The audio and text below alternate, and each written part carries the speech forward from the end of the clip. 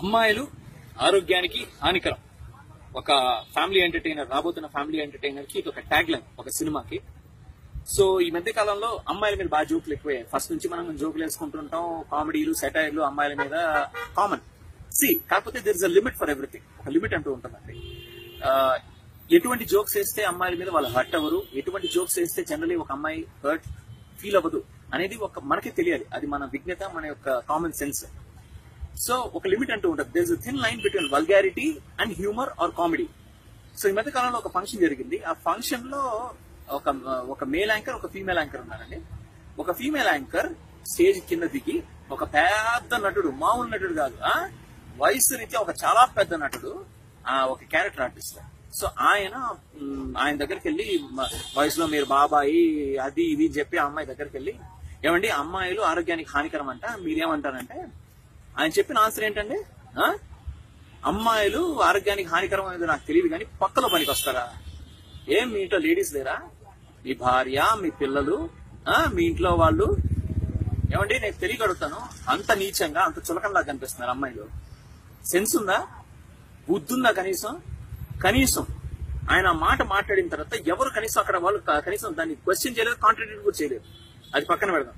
Stage మీద ఉన్న ఇంకొక యాంకర్ అబ్బాయి చెప్పే మాట ఏంటండి? సూపరా. ఏ? మీ ఇంట్లో మీ వైఫ్ లేకపోతే మీ చెల్లో లేకపోతే మీ ఇంట్లో వాళ్ళను ఇదే మాట అంటే ఊరుకుంటావా? చెప్పు తీసుకొని కొడతావా లేదా? పళ్ళు రాలిపోయేలాగా అక్కడే సమాధానం చెప్పాలి. ఎవరు చెప్పలేదు. That is very very bad పైగా అదొక పెద్ద ఆడియో పెద్ద ఫంక్షన్ దాంట్లో ఒక్కరు లేరండి అండి? కాంట్రడిక్ట్ చేసేవాళ్ళు? అంటే దీన్ని బట్టి చూస్తే ఏంటి? ఇండస్ట్రీలో ఉన్న ప్రతి ఒక్క అమ్మాయి ఇంతే. ప్రతి ఒక్క అమ్మాయిని ఇలాగే ట్రీట్ చేస్తారు నీచంగాని అందరూ అనుకోవాలి. ఏమండి? అదే ఇండస్ట్రీలో మేము అందరూ ఉన్నాం. ఓ చెప్తున్నానండి.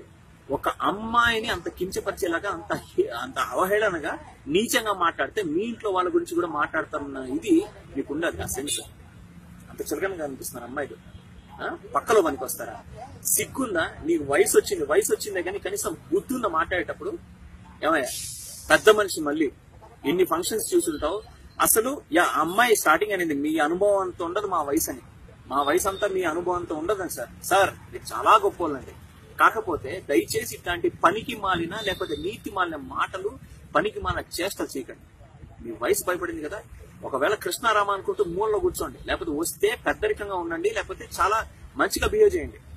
అంతేకాని ఈ రోజుల్లో సోషల్ మీడియా లేకపోతే యూట్యూబ్ ఛానల్స్ లేకపోతే బయట మనకు మీడియా ఎంత పవర్ఫుల్గా ఉంటుందో మీరు ఒక్క మాట అంటే చాలు. దాని వైల్డ్ ఫైర్ లాగా వైరల్గా అయిపోతుంది మొత్తం. అండ్ ఈ రోజుల్లో ఆ రోజుల్లో లాగా మీరు చెప్పిన మాట జస్ట్ ఏదో ఒకటి నడిచేస్తుందంటే కుదరదు. నిలబడతారు క్వశ్చన్ చేస్తారు. నాలాంటి వాళ్ళు ఇంకా వంద మంది వచ్చి క్వశ్చన్ చేస్తారు. బూతులు తిడతారు. నేనైతే ఇక్కడికి ఆగాను. బూతులు తిడతారు. ఏమండి అసలు బుద్ధి ఉందా అండి? నీ వయసు కనీసం గౌరవం ఇస్తా.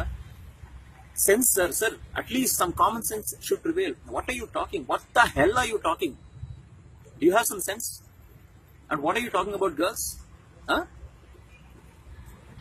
ఇలాంటి వాళ్ళు మన ఇండస్ట్రీలో ఉంటాం మన కర్మ. వాళ్ళని పెద్ద మనుషులుగా తీసుకొచ్చి ఆ ఫంక్షన్లో పెట్టడం వాళ్ళ కర్మ. అండ్ ఆ ఆడియో లాంచ్లో యాంకర్ అలా మాట్లాడటం సూపర్ అని చెప్పడం. ఇంకా నేను అంటాను అలాంటి వాళ్ళు ఉంటాం మన కర్మ అండి. దీన్ని ఎన్ని రోజులు వదిలేయాలి ఇలాగా? See at least someone has to stop and someone has to question నాకు అనిపించింది అండి I'm just feeling that's wrong ఒక అమ్మాయిని ఒక అమ్మాయిని అందరినీ జనరలైజ్గా మాట్లాడాలి? చెప్పడం తప్పు.